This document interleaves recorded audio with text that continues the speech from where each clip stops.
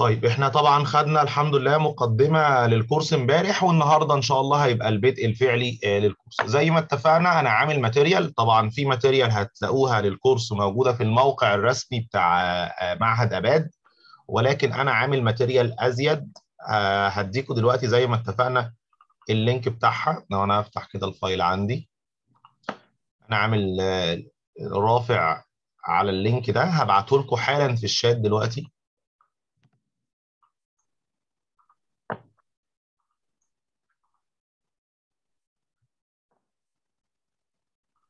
آه لو فتحتوا ال link دوت هتلاقوا فيه إيه بقى؟ تعالوا كده نبص عليه بصة كده.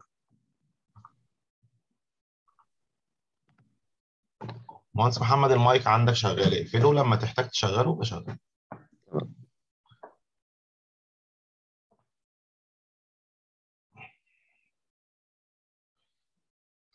هتلاقوا في ال link دوت آه، آه، folder لل intro بتاعت ال course اللي إحنا اشتغلنا منها مقدمة ال course امبارح.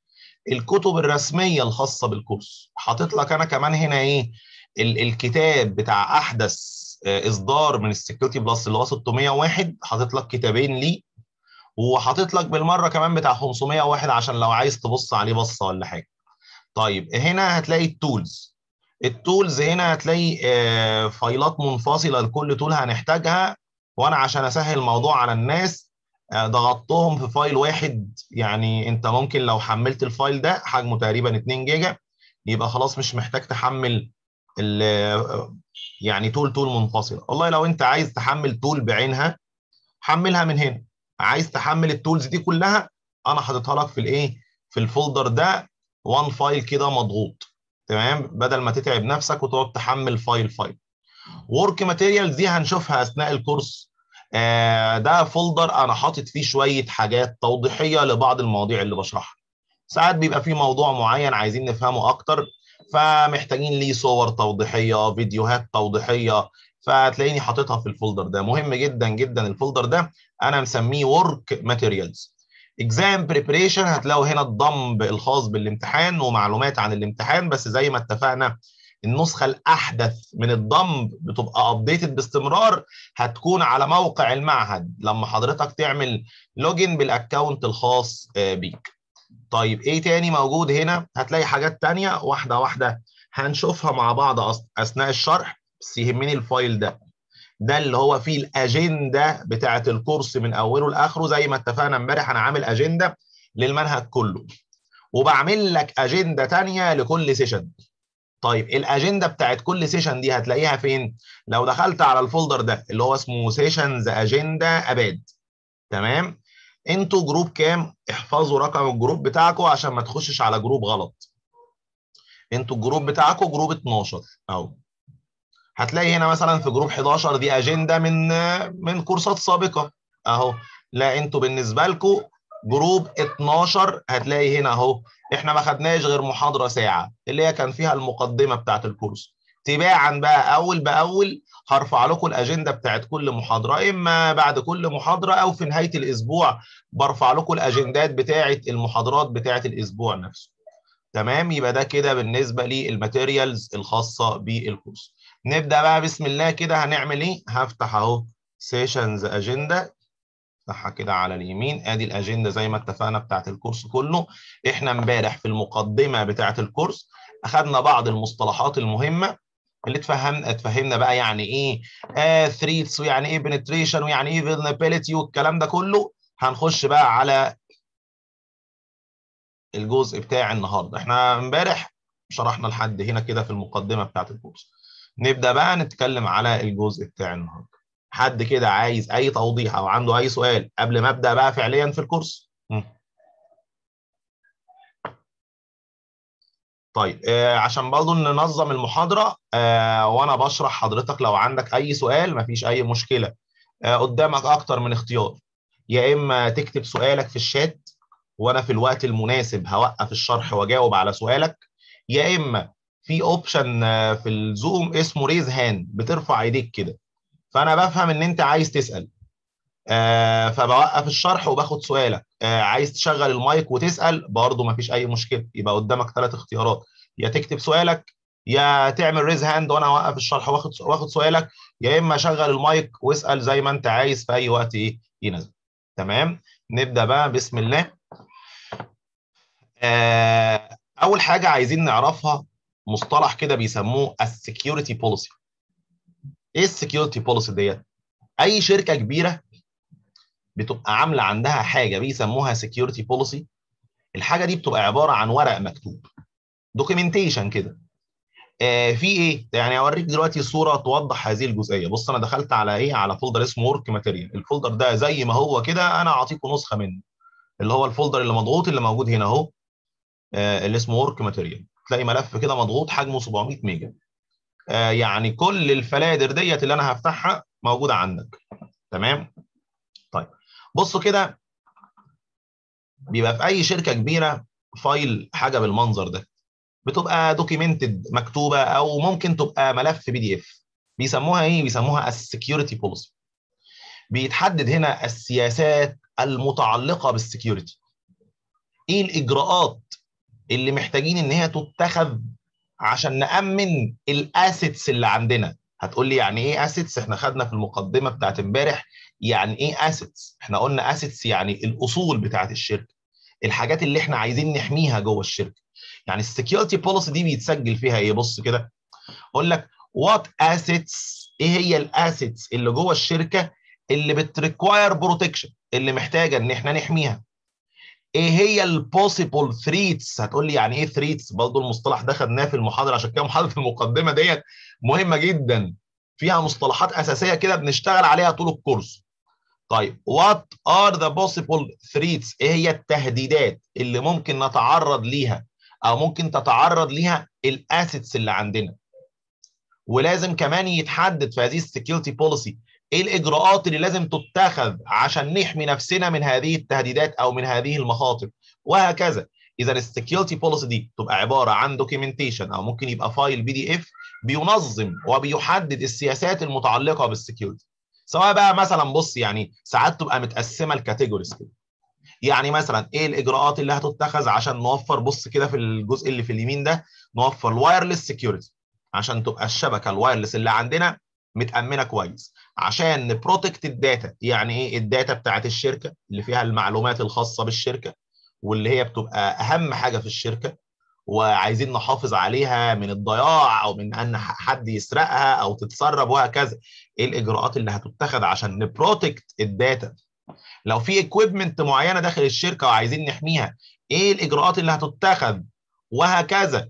فال security policy ديت بيبقى مسجل فيها أهم الإجراءات اللي هتتخذ لحماية الشبكة بتاعتنا أو الشركة بتاعتنا سواء بقى إيه بقى بص يعني بيبقى مسجل فيها إيه؟ حاجات متعلقة بال network security ال system security ال computer security يعني ما شاء الله بيبقى فيها حاجات كتير والحاجات دي اللي إحنا هندرسها على مدار الكورس.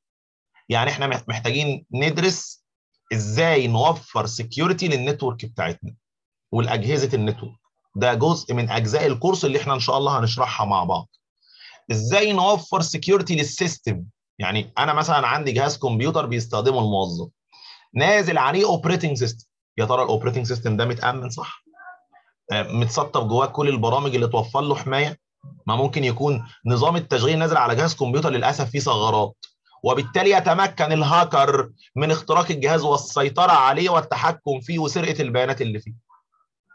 هل جهاز الكمبيوتر بصفة عامة متأمن صح؟ بغض النظر عن السيستم نازل عليه. لو بنستخدم موبايلات في الشركة هل الموبايلات اللي بيستخدمها الموظفين في إدارة الشغل بتاعهم داخل الشركة متأمنة صح؟ هل البرامج اللي إحنا بنستخدمها جوه الشركة ممكن يكون في جهاز البرنامج اللي نازل عليه فيه مشاكل؟ البرنامج فيه ثغرات تمكن الهاكر من اختراق الجهاز من خلال هذا البرنامج. فهل ال applications اللي عندنا متأمنة صح؟ هل ال web application إيه المقصود بال web application ديت؟ اللي هي لو لو شركة ليها موقع يعني عارف مثلا يسموا مثلا موقع زي موقع عباد؟ موقع زي ده. بيقولوا عليه كده في عالم الشبكات web application. ده كده بيتقال عليه web application. أهو. هل ال web application أو الموقع يعني الخاص بالشركة متأمن صح؟ ما ممكن يطلع الموقع ده فيه ثغرات تمكن الهاكر من السيطرة على هذا الموقع والتلاعب في المحتوى بتاعه. أو إن هو يوقع ال server اللي عليه هذا الموقع. فهل ال web application متأمن صح؟ الإيميل بتاعنا. أي شركة بيبقى كل موظف عنده إيميل وممكن تلاقي الموظفين بيراسلوا بعض وواحد مثلا تلاقي المدير باعت موظف باعت إيميل لموظف معين بيطلب منه حاجة أو موظف بيبعت إيميل لموظف تاني. هل ال server ات المسؤولة عن هذه الإيميلات متأمنة صح؟ وهكذا بقى. بص هنتكلم على الريموت اكسس سكيورتي والفيزيكال سكيورتي والانفايرمنتال سكيورتي والانفورميشن سكيورتي كل دي مواضيع إن شاء الله هنتطرق ليها في الكورس بتاعنا. كل موضوع قصة لوحده. يعني إيه؟ زي ما أنت شايف حاجات كتيرة محتاجين نأمنها. طب إيه اللي هنبدأ بيه؟ وإيه أهم حاجة في الجزء ده؟ أهم حاجة في الجزء ده هو الجزء اللي بيتكلم على ال information security أو بيقولوا عليه كده أمن المعلومات. لأن يقول لك إيه؟ يقول لك أهم asset يعني أهم أصل من أصول الشركة هي ال information المعلومات.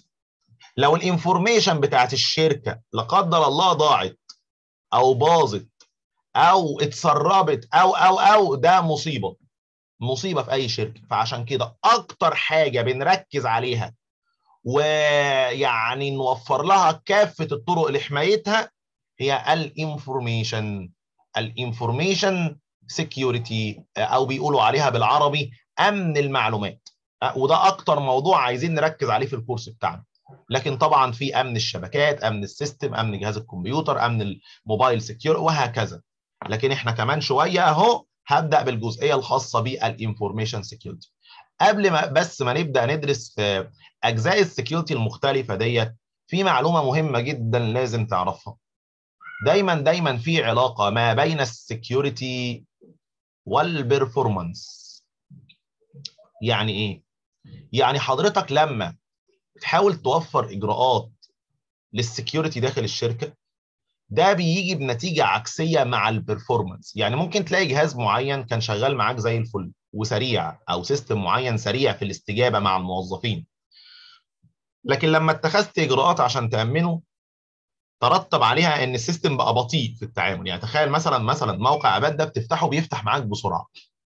اكتشفوا شوية مشاكل فيه في ال security فعالجوها. فالحاجات ديت لما عالجوها ترتب عليها إن الدنيا بقت بطيئة. الناس تفتح الموقع يغيب عقبال ما يفتح معاها. يجوا يعملوا حاجة معينة يغيب معاهم. اذا قد يؤدي ها تظبيط شغل ال security داخل الشركة. إلى التأثير على إيه؟ على ال performance طيب لو قللت ال security هتلاقي ال performance كويس. دايما في علاقة ما بين الاثنين كده. عشان كده يقول لك إيه؟ في أي شركة ما بنبالغش قوي في اتخاذ إجراءات متعلقة بال security لأن الموضوع ممكن يجيب نتيجة عكسية. في قصة مشهورة لأحد البنوك في أوروبا. البنك ده كان ال system بتاعه مش متأمن كويس بس كان سريع. يعني العملاء لما يخشوا على ال system بتاع البنك و... ويحاولوا ان هم مثلا يشوفوا الأرصدة بتاعتهم أو يحولوا فلوس أو أو أو كانت الدنيا سريعة في الاستجابة. بس نتيجة إن ال system ما كانش متأمن كويس كان بيتعرض البنك لمحاولات اختراق واحيانا كانت بتنجح وده بيترتب عليه خسائر. طب الخسائر ديت مثلا قدرت بقد إيه سنويا؟ هنفترض رقم يعني مليون دولار. البنك بيخسرهم سنويا بسبب إن المنظومة اللي عنده مش متأمنة كويس. فقال لك لا الكلام ده ما ينفعش نسكت عليه. فجابوا ناس متخصصة في ال security عشان يوفروا ويعملوا الإجراءات المتعلقة بال security.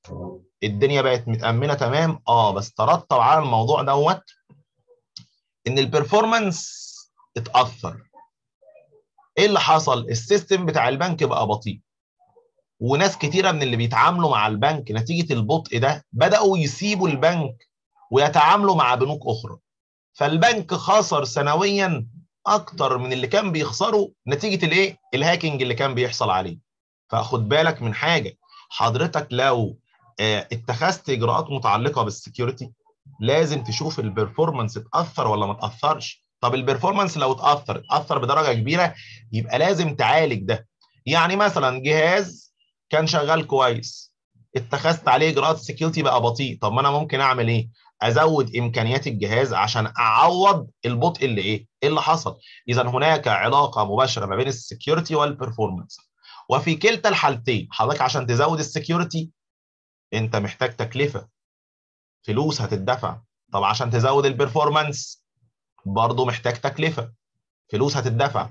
طب أنت لو صرفت بزيادة على ال security ده هيجي على حساب ال performance فأنت لازم تراعي إن لما تزود ال security تحاول تحسن ال performance وهنا في رسمة مشهورة كده هوريها لكم دلوقتي.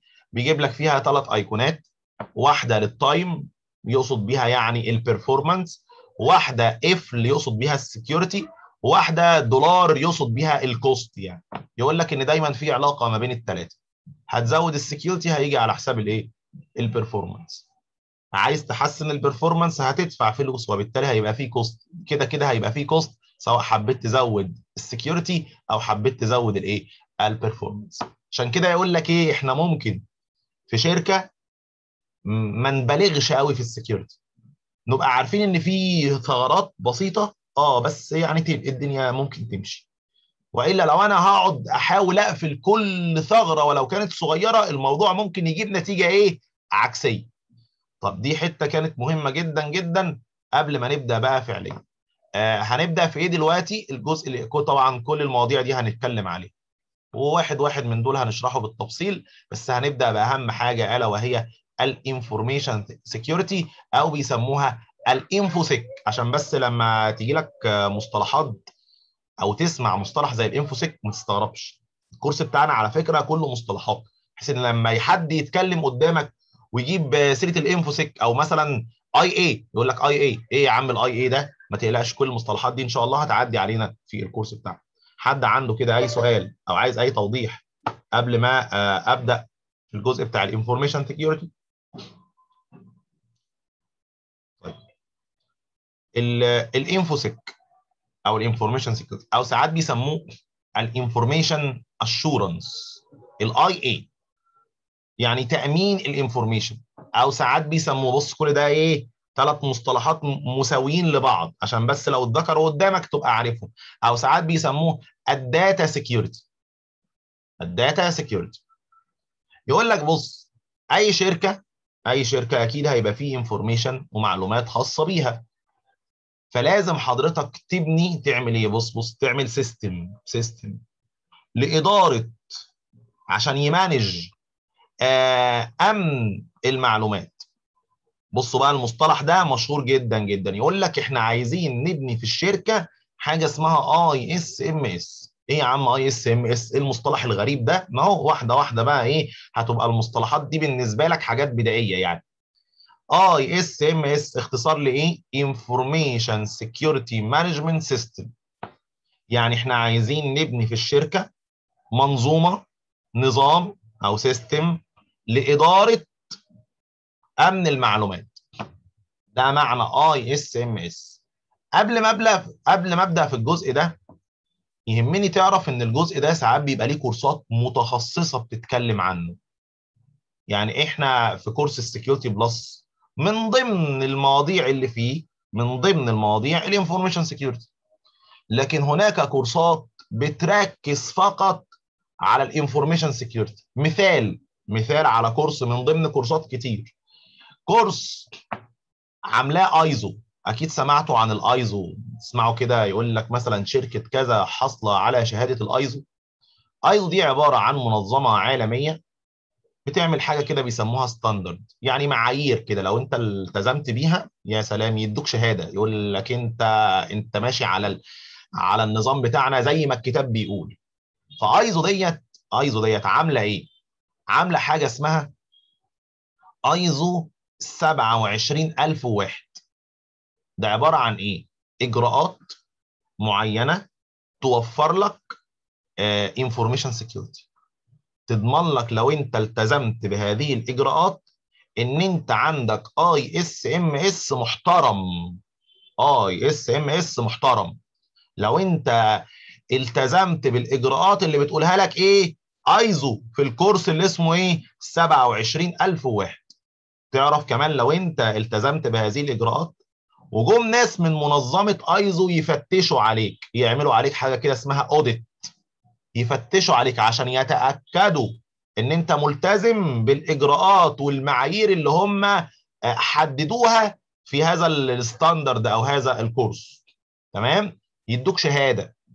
شهادة بإيه؟ يقول لك أنت حاصل على شهادة الآيزو 27001 يعني عارف أنت لما تتعامل مع مكان أو شركة أو بنك مثلا وتعرف إن البنك ده حاصل أو الشركة ديت حاصلة على شهاده شهادة الآيزو 27001 ده معناها إن هي متخذة كافة الإجراءات اللي توفر لها أو تخليها تعمل منظومة لأمن المعلومات لإدارة أمن المعلومات.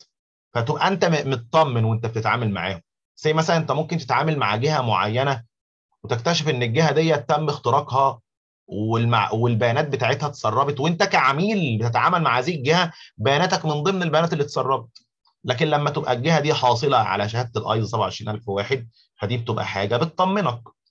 طيب اذا الجزء بتاع ال information security ده زي ما بقول لك كده ليه كورسات. حضرتك لو عايز تعرف معلومات أكتر مين هي منظمة الايزو عايز تعرف معلومات أكتر عن الكورس اللي اسمه ايزو 27001 حاطط لك link أهو يديك معلومات أكتر عن الايزو و link أهو يديك معلومات أكتر عن آه الكورس اللي اسمه 27001 ايزو 27001 طيب نبدأ إحنا. وعلى فكرة أنت لو لو تعمقت أو ركزت على دراسة الكورسات اللي بتهتم بال information security ده هيخليك مستقبلا تبقى مؤهل لوظيفة مشهورة جدا جدا بيسموها ال CISO. CISO. إيه ال CISO دي؟ حضرتك بتبقى إيه؟ Chief Information Security Officer يعني بالعربي كده أنت مدير أمن المعلومات داخل الشركة. يعني دي ده منصب عالي قوي في الجزئية بتاعت أمن المعلومات. أنت المدير بتاع أنت اللي مسؤول عن كافة الإجراءات اللي لازم تتعمل عشان توفر information security ما تنساش المنصب ده. ناس كتيرة هنبقى أنا بنتكلم عليها هتلاقيه هو بيعرف نفسه كده يقول لك أنا أنا ال CISO بتاع الشركة. أنا يعني أنا اللي Chief Information Security Officer الراجل ده بقى بيبقى متخصص ودارس الكورسات اللي بتتكلم على ال information security أو ال info security وساعات كده آه تلاقي يجي يجي سيرة كده وأنت في الشركة يقول لك وريني ال ISP بتاعت الشركة. وريني ال ISP بتاعت الشركة. إيه ال ISP مصطلح ISP ده ليه كذا معنى. الناس اللي دارسة شبكات الناس اللي معانا دارسة شبكات. عدى عليكم مصطلح اي اس بي ده. حد عارف اي اس بي دي ممكن تبقى اختصار لإيه؟ في الشبكات. اللي هو ال internet service provider. أيوه الله يفتح عليك. ال internet service provider. حتى بصوا كده أنا هوريكم lab من اللابات اللي بنعملها في كورسات الشبكات بقى بصوا ال lab الضخم ده طبعا ال lab ده إحنا بنعمله وبنشرحه للناس بالتفصيل في كورسات الشبكات. بيبقى عندنا كده حاجة اسمها اي اس بي اي اس بي ده اللي هو مزود خدمة الإنترنت. ده مصطلح بيتقال على شركات الإنترنت داخل الدولة اللي أنت عايش فيها. يعني مثلا في السعودية في مثلا زين STC موبايلي دي كلها شركات ممكن تتعاقد معاها عشان توصل نت عندك في الشركة أو في بيتك حتى. فبيسموهم إيه؟ اي اس بي آي إس بي هنا اختصار لإيه؟ internet service provider آه الكلام ده في الشبكات. ولكن في عالم ال security ISP ليها معنى تاني. إيه المعنى التاني؟ information security policy أنا مرة كنت بتكلم مع حد مدير في شركة يعني قال لي أنا هبعت لك ال ISP بتاعت الشركة. إيه يا عم ال ISP ديت؟ اللي هي ال information security policy يعني إيه؟ يعني ال policy مش إحنا قلنا أي شركة كبيرة بتعمل حاجة اسمها security policy security policy دي يوضع فيها إيه بقى؟ الحاجات المتعلقة بال network security وال system security وال computer security هو باعت لي الحاجة اللي متعلقة بالايه بال information security الإجراءات اللي بتتخذ عشان يبقى في شغل information security مظبوط. فده معنى ISP معلش بقى شوية مصطلحات أهي خدناها. InfoSec I I ISMS عرفنا إيه هي الايزو؟ إيه هو الايزو 27001 يعني إيه CISO؟ يعني إيه ISP طيب نبدأ بقى بسم الله في ال information security نشرحه بالتفصيل كده واحدة واحدة. عشان توفر أمن للمعلومات داخل أي شركة لازم تعرف إيه هي ال attacks أو إيه هي التهديدات اللي ممكن تتعرض ليها ال data أو ال information اللي جوه الشركة. بس لازم نفرق نفرق ونعرف إن في نوعين من ال information أو في نوعين من ال data في عندنا حاجة بيسموها local information أو بيسموها local data وحاجة اسمها network information أو حاجة بيسموها network data إيه الفرق ما بينهم؟ أقول لك. تخيل معايا مثلا في lab ضخم زي اللي أنت شايفه قدامك ده. تخيل معايا لو الجهاز ده الجهاز ده متخزن جواه data ملفات Word ملفات Excel صور فيديوهات مش. أي حاجة يعني متخزنة جواه.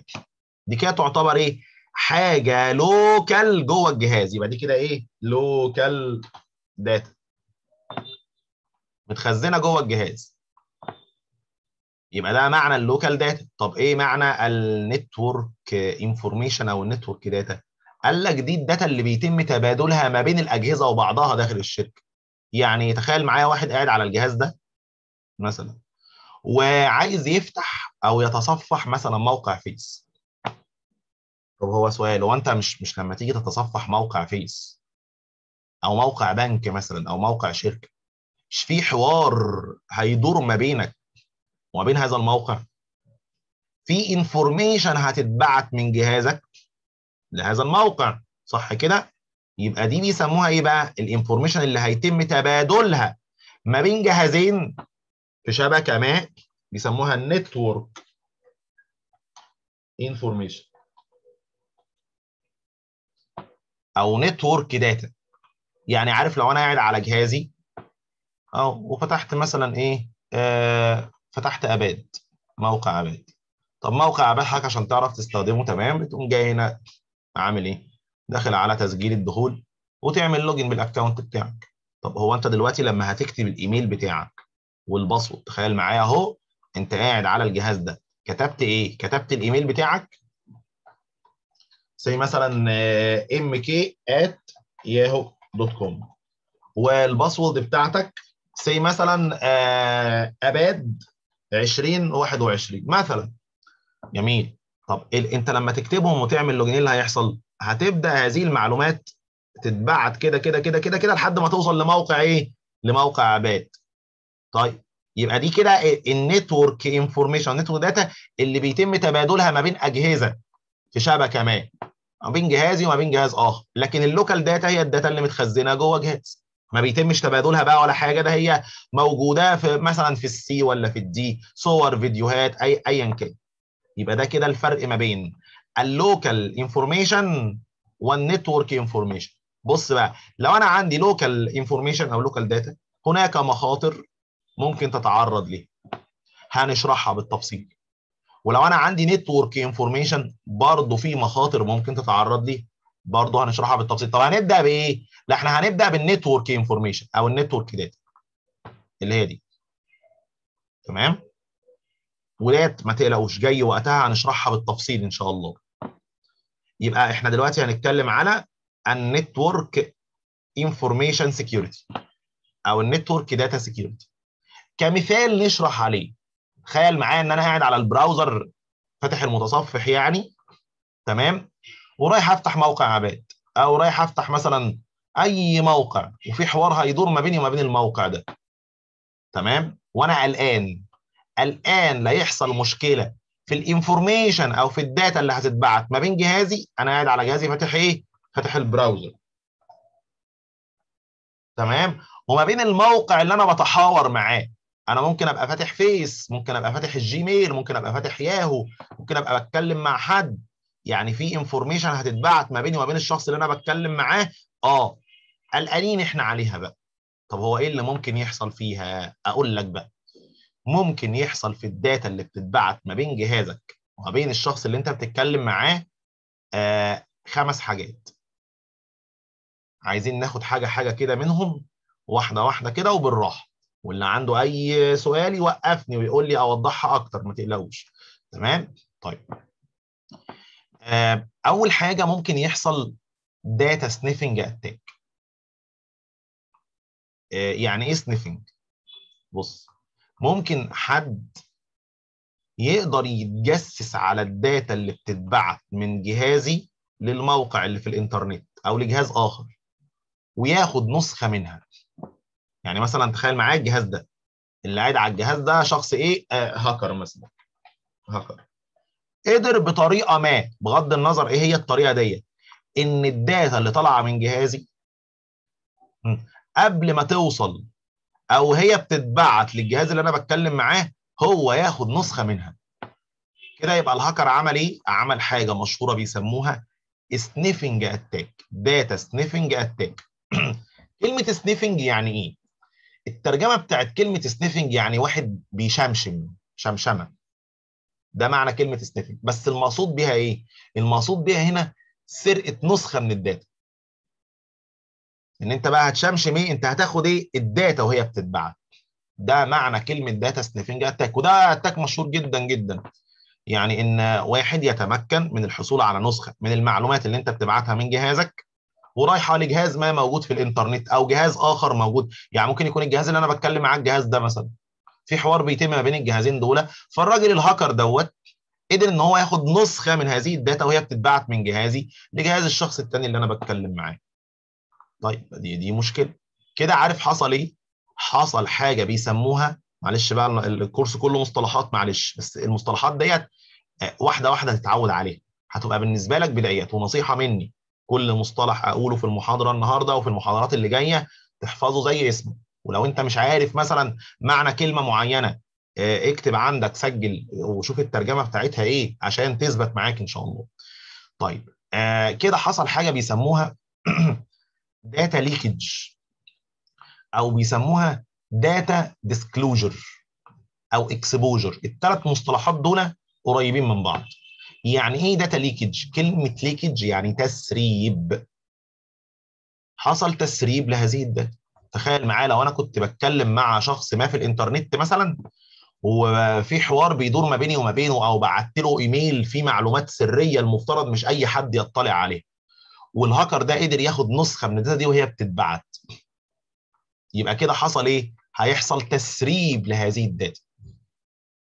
وهذا ما يسمى بال data leakage على فكرة data leakage ممكن يتم بكذا طريقة. يعني مثلا لو أنا عندي جهاز كمبيوتر عليه data local تمام؟ وال USB على الجهاز ده شغال فممكن موظف يعمل إيه؟ يقوم جاي حاطط فلاشة مثلا يعني. ويقوم جاي واخد نسخة من ال data اللي على الجهاز يحطها على الفلاشة. كده حصل data leakage آه كده حصل data leakage بس أنا كلامي دلوقتي على إيه؟ على ال data اللي بتتبعت ما بين جهازي وما بين جهاز ما في الإنترنت. لو حد قدر يعمل لها sniffing يعني يتجسس عليها وهي بتتبعت يبقى كده حصل data leakage تسريب لل data. أو بيسموه ده مصطلح تاني يدي نفس المعنى disclosure أو exposure disclosure يعني كشف. حاجة اتكشفت حاجة اتعرفت. أو exposure يعني فتح كشف حاجة برضو. من الآخر data leakage عشان بس لو عدى عليك أو سمعت من حد أي مصطلح من الثلاثه تبقى عارف. data leakage data disclosure data exposure تمام؟ بالمناسبة بقى طالما جبنا كلمة disclosure ديت في حاجة كده هنتعرض ليها قدام بس أنا قلت بالمرة أقولها دلوقتي. حاجة اسمها NDA ال NDA دي اختصار لإيه؟ non-disclosure agreement ال NDA بص لو أنت مثلا رايح تعمل شغل مع مؤسسة أو مكان ما والشغل ده هيترتب عليه إن أنت تخش الشركة وتتعامل مع موظفين جوه الشركة وتعرف معلومات من جوه الشركة. هذه المعلومات لو أنت خرجت بره الشركة وقلتها لحد ممكن ده يضر الشركة. يبقى كده هيحصل تسريب لمعلومات انت جبتها من جوه لأن انت كنت جوه الشركة. يعني مثلا لو أنا رحت شركة أعمل لها penetration testing عشان أشوف إيه الثغرات اللي عندهم وأديهم نصايح بال بال بالإجراءات اللي يتخذوها عشان يقفلوا هذه الثغرات. إيه ده؟ يعني أنت هتروح وتقعد جوه الشركة ويسيبوك بقى توصل بالشبكة بتاعت الشركة وتكتشف الثغرات. أنت بقى خلصت الموضوع ده دلوقتي قمت جاي خرجت وقلت للناس اللي بره أو مثلا لشركة منافسة مثلا قلت لها على اللي انت توصلت إليه.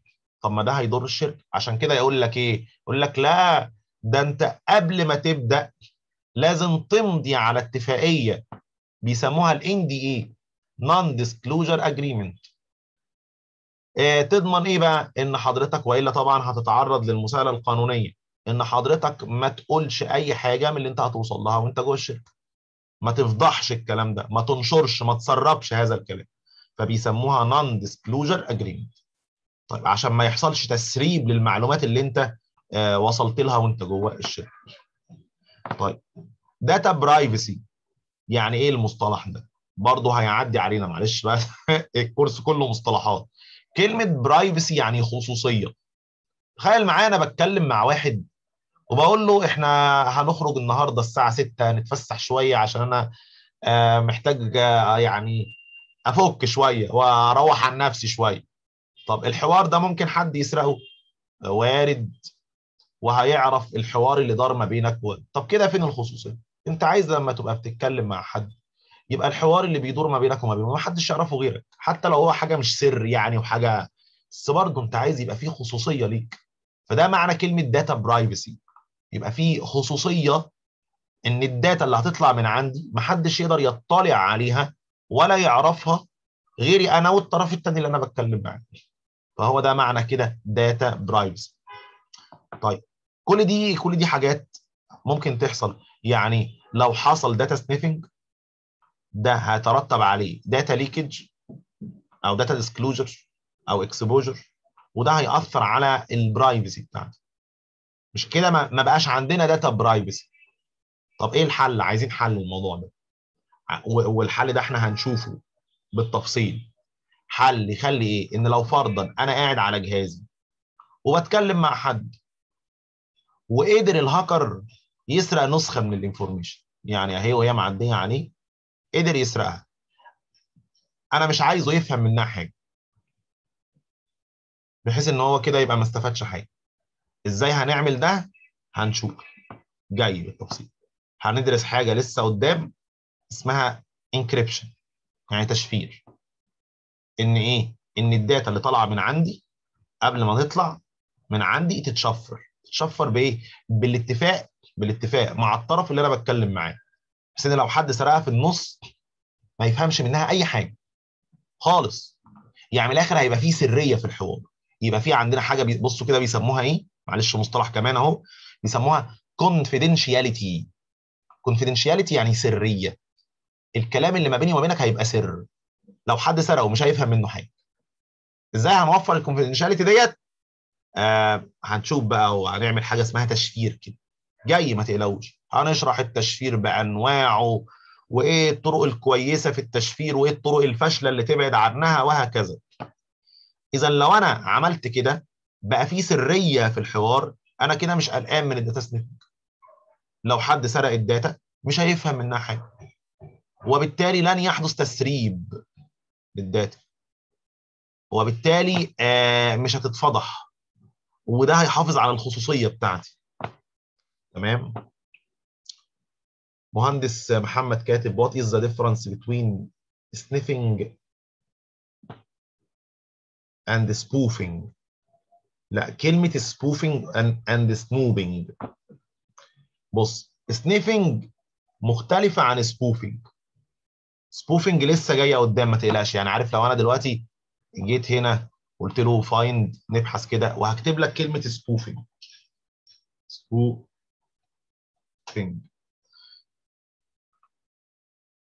spoof. هكتب spoof بس. طيب. ثواني أجيبها لك هي موجودة ما تقلقش في الأجندة.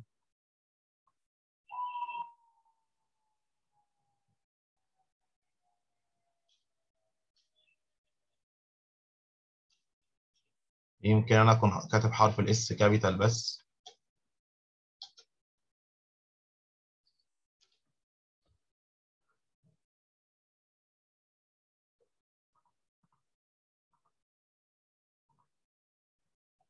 أنا طيب بص أنا هجيبها لك أنا بقى manual طالما مش عارف يوصل لها كده. أهي.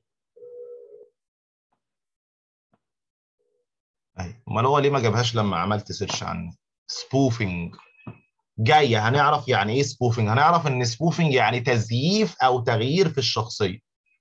طيب و snooping برضه snooping جاية. هو ليه ما بيجيبش ال آه اجيبها down down اجيبها down أي. snooping كلمة snooping يعني تلصص. يعني تقدر تقول snooping قريبة شوية من sniffing قريبة. بس هي معناها بالعربي يعني تلصص. بنستخدمها في أماكن تانية. يعني هنعرف كده حاجة قدام اسمها DHCP snooping وهكذا. لكن spoofing يعني تزييف. الاثنين جايين ما تقلقش. تمام؟ ها حد عنده أي سؤال تاني؟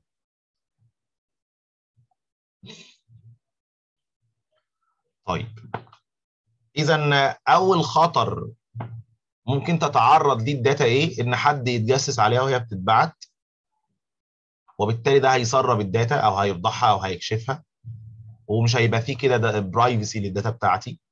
وبالتالي إحنا ما تقلقش هنشفر ال data قبل ما نبعتها عشان تبقى سرية تماما يبقى فيه confidentiality ولو حد سرقها ما يفهمش منها حاجة. والتشفير بتفاصيله هندرسه كمان شوية. طب إيه تاني ممكن يحصل؟ أقول لك إيه تاني.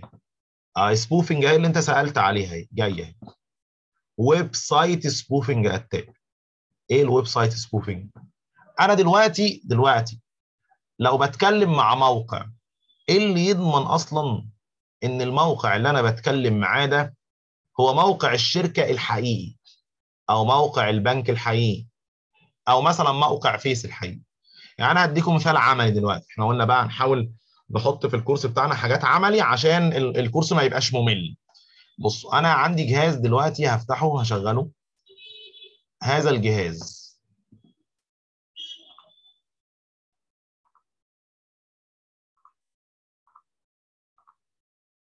الجهاز اللي أنا هشغله دلوقتي ده أنا عامل عليه موقع مزيف شبه موقع فيسبوك بالظبط. شبه موقع فيس. يعني بص آه تقدر تقول عليه كده إيه fake website أو spoof website وده معنى كلمة spoofing كلمة spoofing معناها حاجة مزيفة شبيهة بحاجة حقيقية. ده معنى كلمة spoofing فلما أقول لك أنا عملت website spoofing يعني عملت موقع شبه موقع حقيقي يسموه fake website أو ساعات يسموه phishing website. phishing website. طيب إيه الخطورة من كده؟ أقول لك يعني أنا دلوقتي بقول لك شغلت جهاز هذا الجهاز أنا عامل عليه موقع شبه موقع فيس بالظبط. طيب تعالى نفتحه كده من هنا. أهو.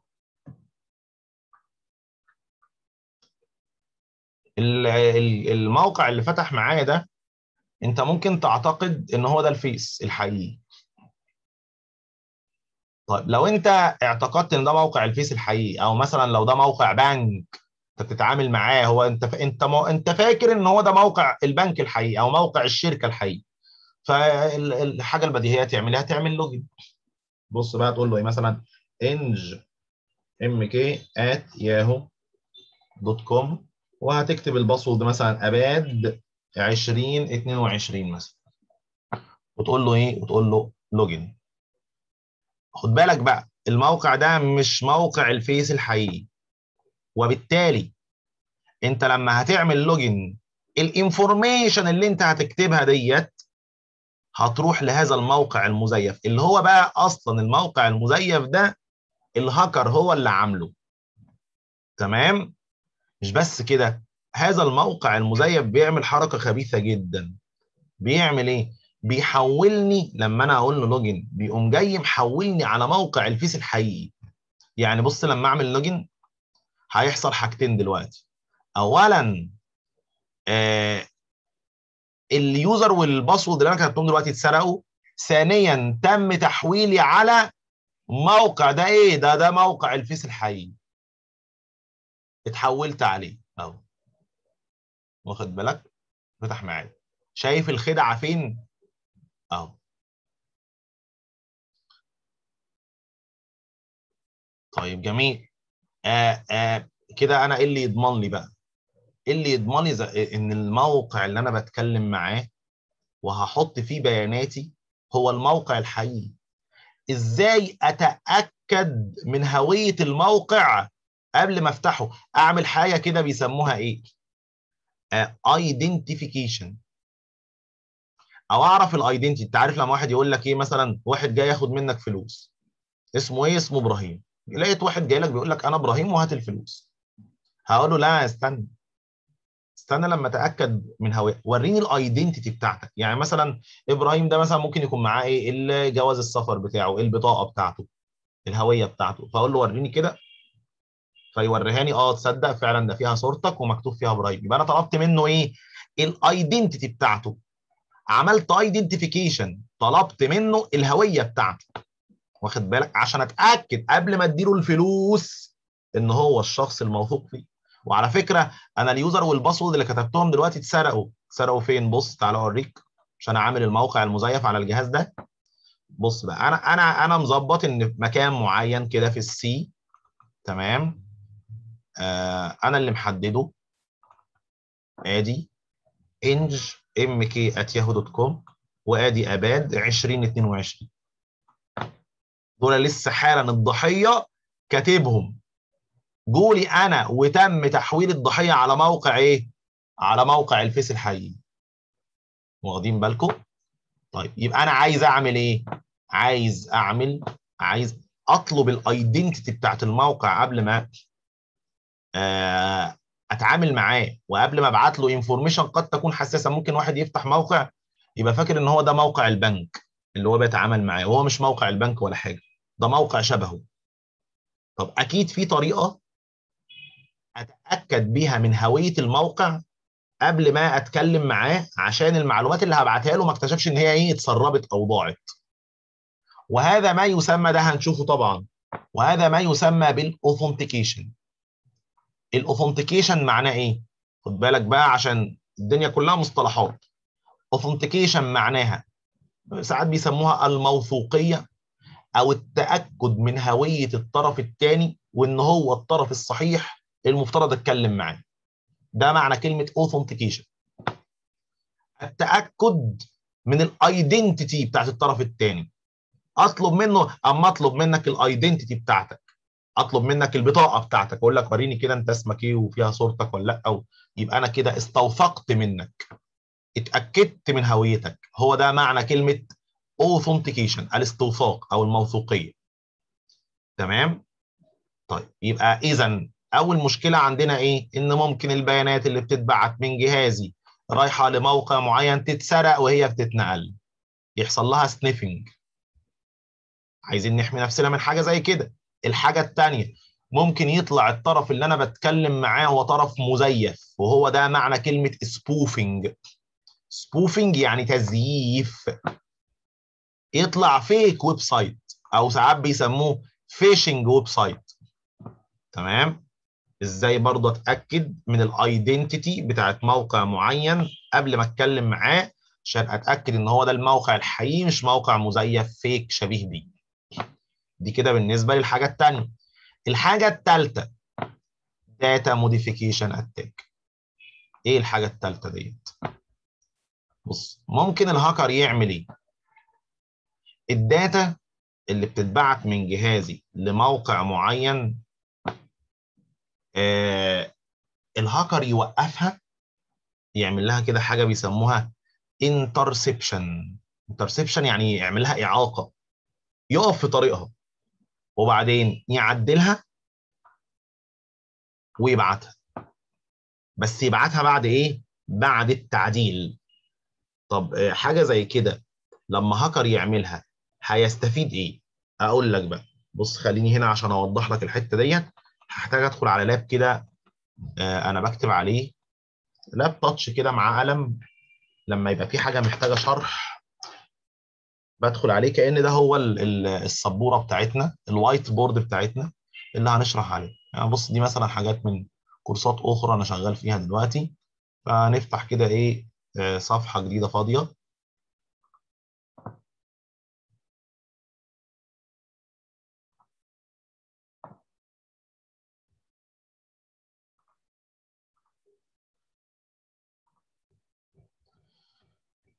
طيب تخيل معايا عندي جهاز بتاع موظف في بنك. تمام؟ قاعد على جهازه.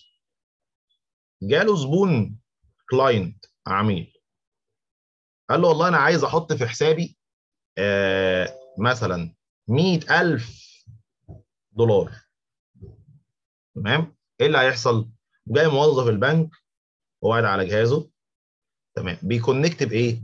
بي connect بال... بال server اللي في البنك اللي هو عليه بقى إيه آه، بيانات العملاء كلهم رقم حسابات العملاء رصيد كل عميل وهكذا.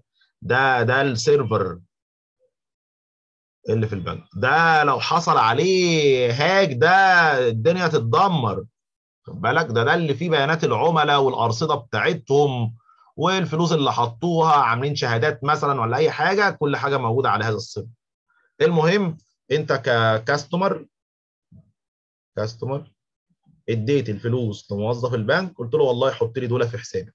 رقم حسابك كام؟ كذا كذا كذا كذا. هو هيدخل على ال system من جهازه عشان يبدأ يحط البيانات ديت في إيه؟ في حسابك وبالتالي الرصيد بتاعك يزيد. طب ما كده في بيانات هيتم تبادلها ما بين جهاز الموظف اللي في البنك وما بين مين؟ ما بين ال server اللي عليه ال system بتاع البنك. البيانات اللي هتتبعت ديت هي بيانات بإيه؟ بوضع 100 ألف دولار في حساب X من الناس. زي مثلا آه، محمد كامل اللي رقم حسابه كذا. جميل. يجي بقى الهاكر بقى. لو واحد بقى هاكر يعمل إيه؟ ي intercept ال data المعلومات دي وهي بتتبعت من جهاز الموظف لل system يعمل لها intercept intercept يعني إعاقة يوقفها كده. عارف أنت لما تبقى ماشي في طريق وتلاقي واحد وقفك يقول لك استنى قبل ما تمشي هديك كذا كذا و... وهاخد منك حاجات معينة وهكذا. فده معنى intercept يوم جاي عامل إيه بقى الهاكر؟ ده مين اللي هيعمل intercept ال hacker.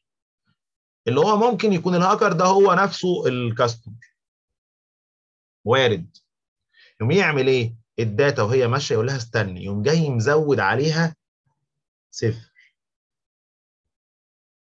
وبعدين يبقى هي- وهي بتتبعت وقفها وعدل عمل modification فيها وبعدين سابها تكمل مشوار. هي كانت هنا كام؟ 100000 دولار. هو عدلها وخلاها إيه؟ زود عليها صفر مليون دولار. وهذا ما يسمى بال data modification attack وهتتبعت فيقوم الشخص ده اللي هو مين بقى؟ هو في ال system هنا اللي هو اسمه محمد. كامل. حسب بقى رقم حسابه كام؟ هيتحط في حسابه مليون دولار بدل 100000 دولار. وهذا ما يسمى بال data modification attack بيحصل interception وتعديل أو بيحصل alteration تغيير في ال data تبديل. طيب عايزين نحمي نفسنا من حاجة زي كده. يعني إيه؟ عايزين لو جهاز كمبيوتر في أي مكان بعت data لجهاز آخر في أي مكان آخر يبقى في mechanism يعرفني هل ال data اللي اتبعتت ديت حصل تلاعب فيها أثناء النقل ولا ما حصلش؟ بحيث الطرف الثاني لما يستلم ال data يقدر بطريقة معينة يتأكد هل ال data زي ما طلعت زي ما وصلت ولا حصل تلاعب فيها؟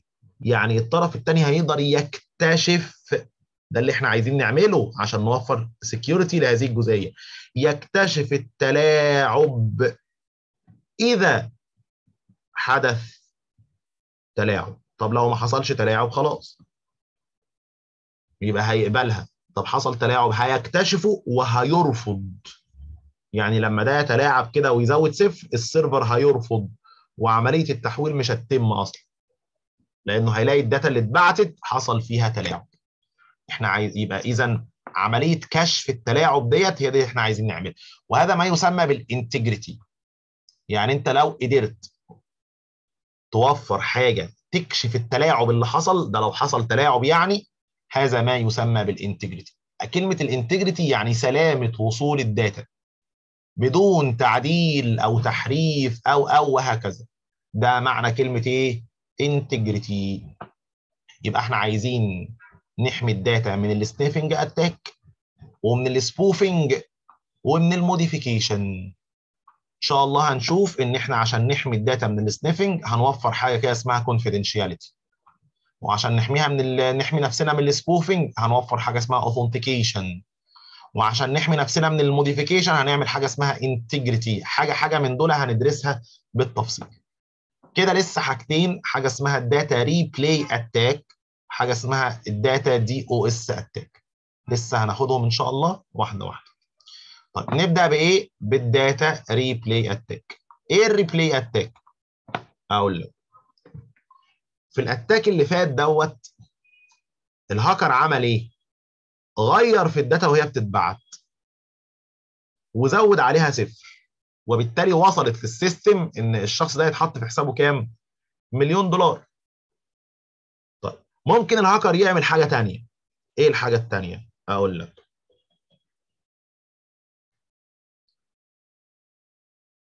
ممكن الهاكر ما يتلاعبش في ال data ولا حاجة. يعني إيه؟ هنفترض ده الهاكر. بيقدر يتجسس على ال data اللي بتتبعت يعمل إيه؟ لقى ان في رسالة اتبعتت من جهاز الموظف لل server بتأمر بوضع 100000 دولار في حساب هذا الشخص. 100000 دولار. الهاكر يعمل إيه؟ يقوم جاي واخد نسخة copy من هذه الرسالة. نفس الرسالة هي هي من غير ما يتلاعب فيها ولا حاجة.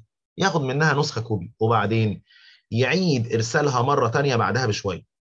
نفس الرسالة؟ نفس الرسالة. طب لما يعيد ارسالها مرة ثانية الرسالة ديت بتدي أمر بوضع 100000 دولار في حساب الشخص اللي اسمه أو في حساب محمد أهو محمد كامل. طب كده إيه النتيجة؟ النتيجة إن هذا الشخص هيتحط في حسابه ال 100000 دولار مرتين.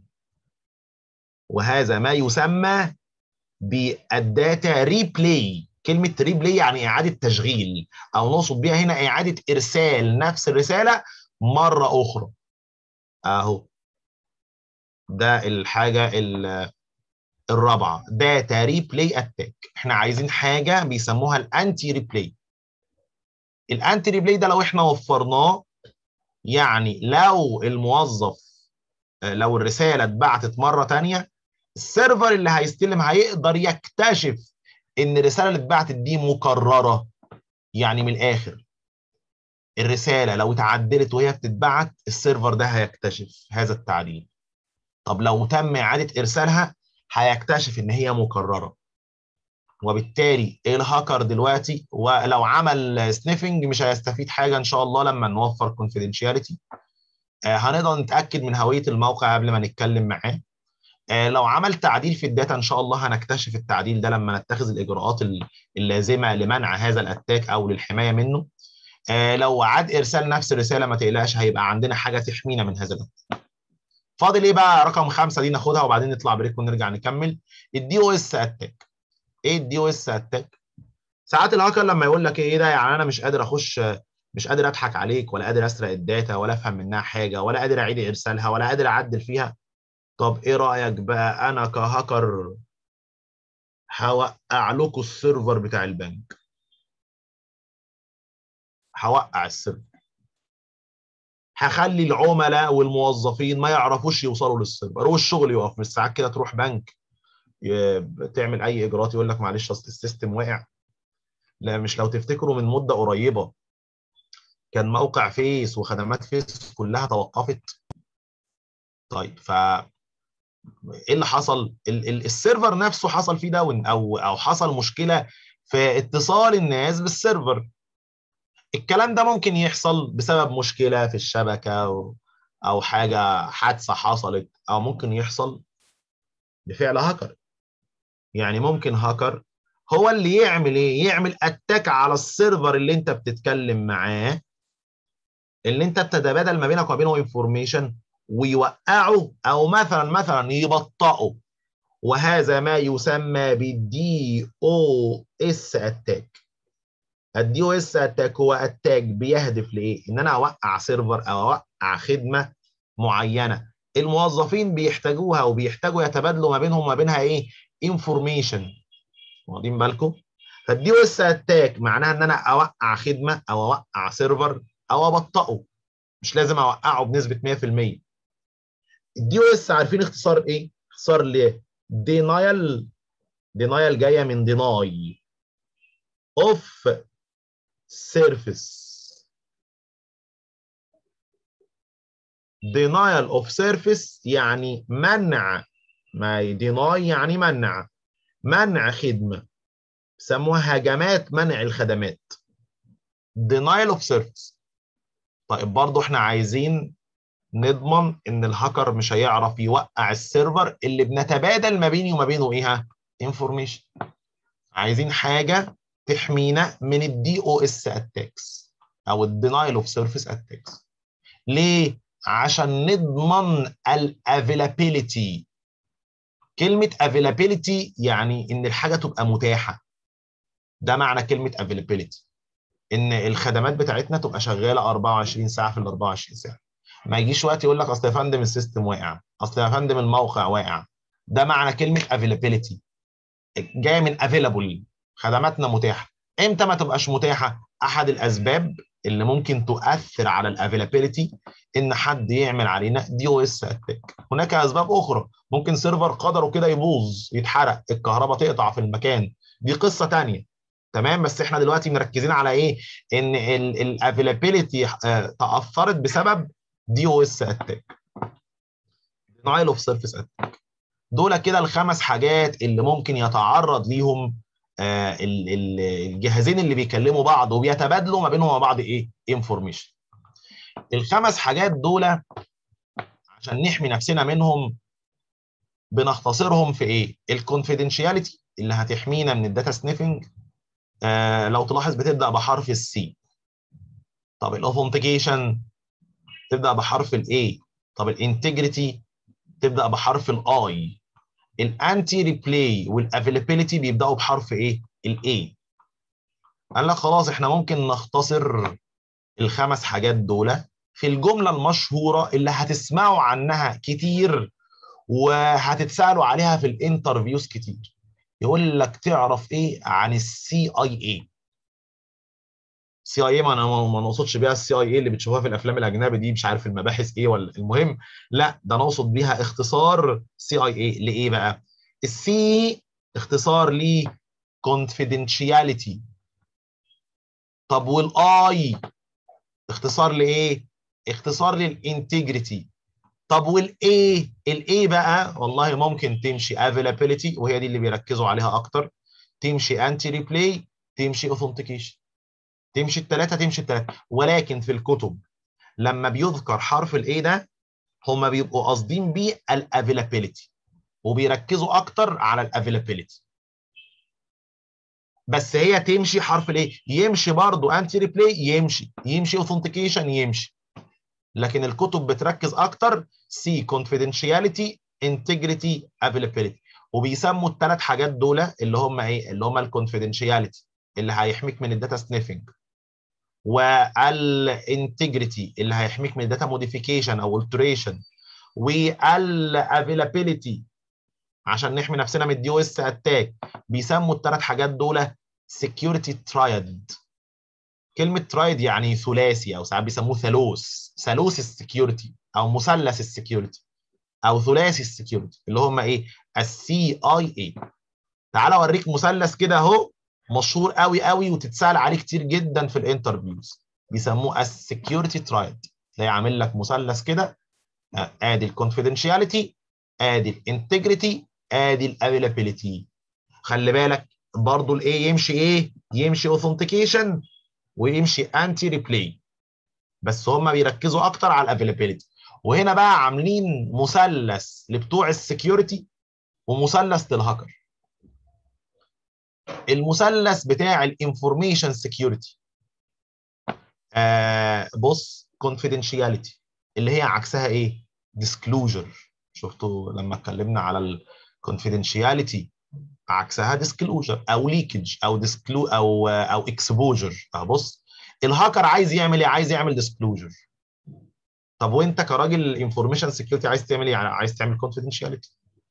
طيب الهاكر عايز يعمل alteration. تعديل في ال data اهي. بص بص مصطلح alteration اهو.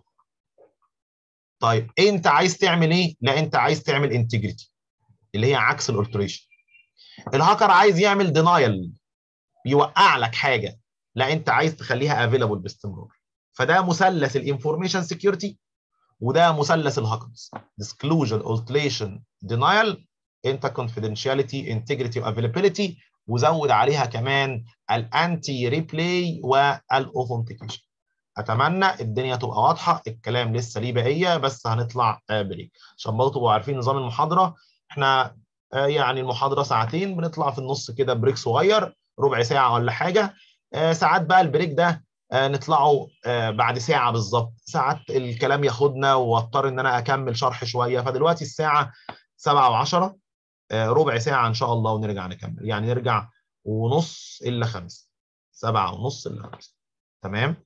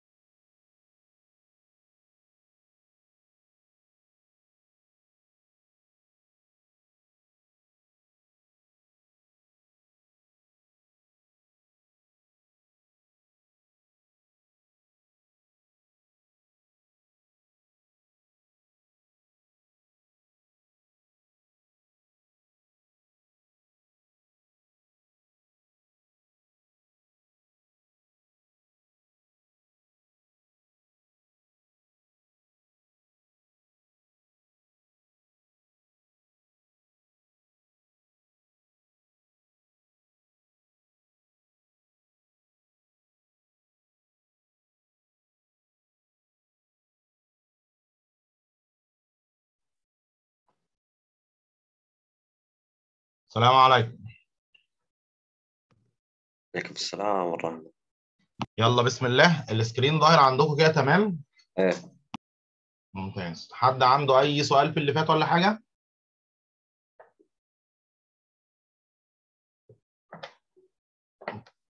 طيب نكمل بقى. إحنا كده شفنا الخمس حاجات ال sniffing attack ال spoofing attack ال modification attack ال replay attack وال DoS attack. وعرفنا يعني إيه CIA ده بيسموه ال security triad من الحاجات اللي بتتسأل عليها كتير في ال interviews. بصوا أنا عامل folder عندي في ال material مسميه إيه؟ مسميه important فين؟ فين؟ أيوه cyber security interview questions أشهر الأسئلة اللي بتجيلك لما حضرتك تيجي تقدم على وظيفة في مجال ال cyber security أو في مجال مثلا ال information security طيب بص كده تلاقي ملف text فيه لينكات. تعالوا كده ندخل على ال link الأول ده كده وهتلاقوا ال file ده زي ما هو كده مرفوع آه في ال material أهو. تلاقي cyber security interview questions تمام؟ تعالوا نخش على أول link ده. هتلاقي بعض حاجات من اللي إحنا درسناها موجودة في الأسئلة اللي بتيجي هنا. ونخش بالمرة على ال link الثاني دوت. كفاية أول لينكين.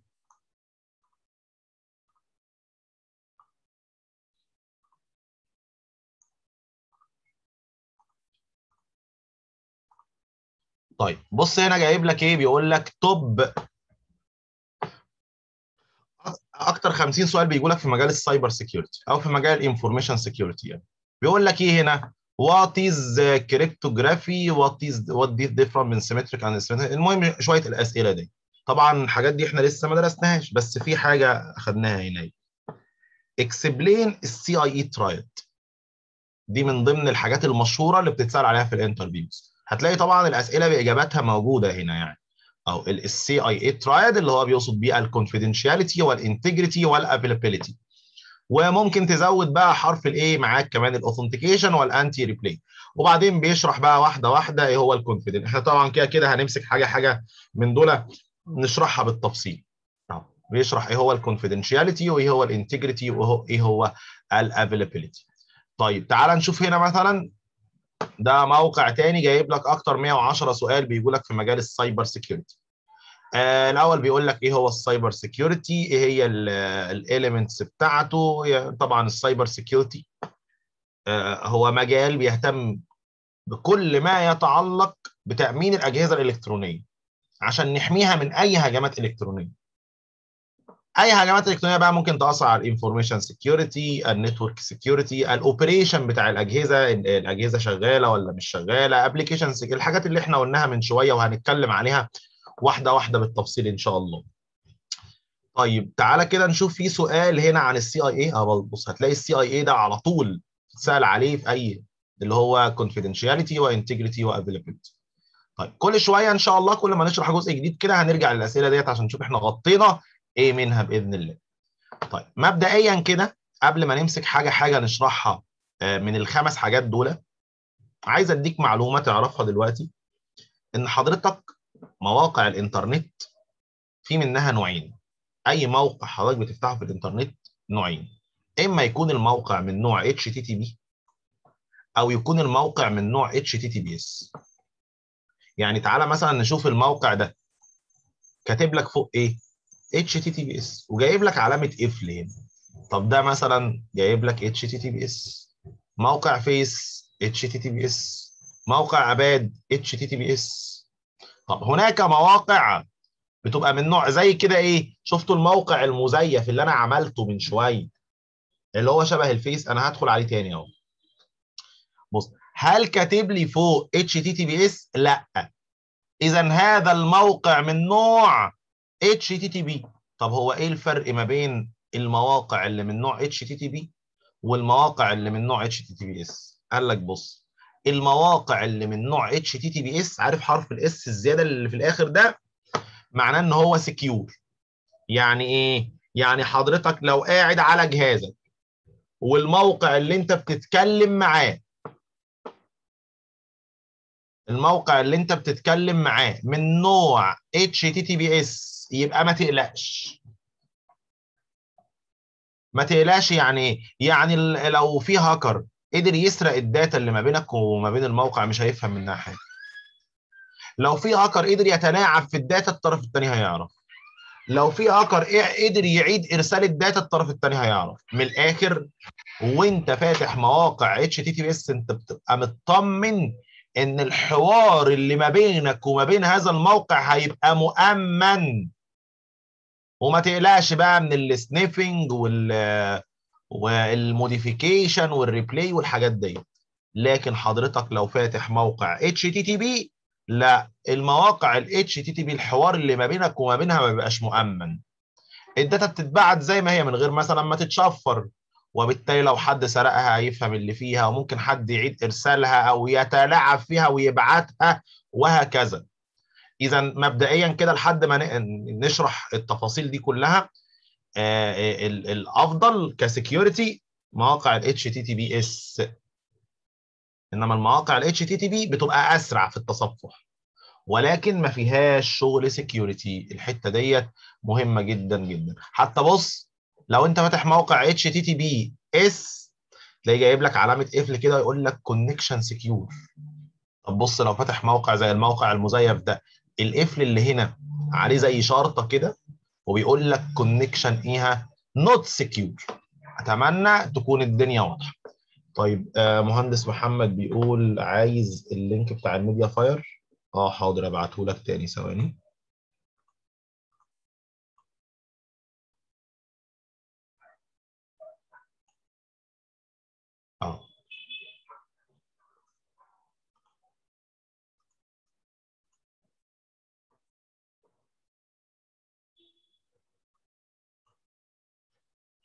ده ال link اللي فيه ال material. العفو عليا. أي material أنا هشتغل منها ال intro ال books ال tools كل ده موجود إيه في ال link ده. نبدأ يلا بسم الله في ال confidentiality اللي هي أول حاجة من الخمس حاجات دول.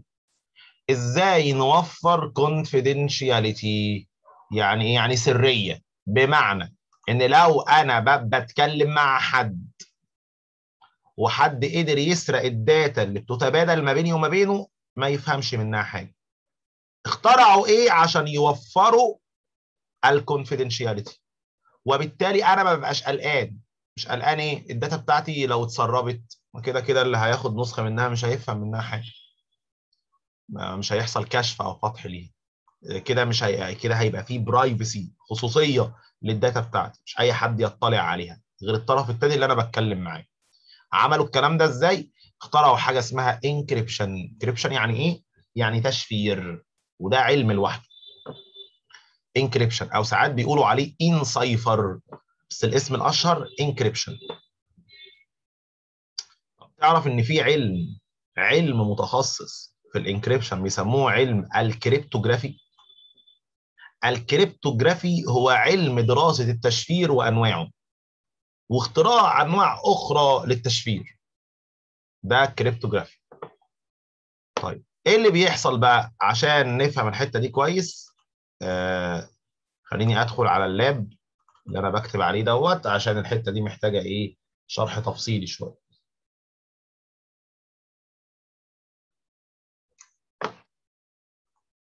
نفتح كده صفحة جديدة. بصوا كده بسم الله. أنا دلوقتي قلقان من إيه؟ قلقان أنا وأنا قاعد على جهازي. بتكلم مثلا مثلا مع موقع فيسبوك مثلا كمثال يعني نشرح عليه.